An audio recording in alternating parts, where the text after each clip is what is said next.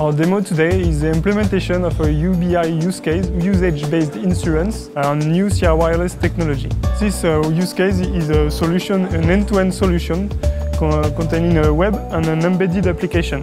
The first embedded application on a mangOH card with a WP8 module from Sierra Wireless will allow you to monitor the driver behavior. We are going to take all GPS and accelerometer data and send them to AirVantage.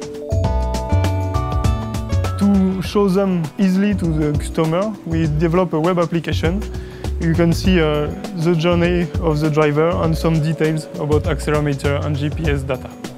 Uh, we do not have a product as a product because we are part from the service business line and so we pro propose you a service. Our service is to follow you from the beginning to the end of your project. If you want to do it yourself, you can, we can give you technical support on the embedded on the website. You want us to do it for you, we can also do.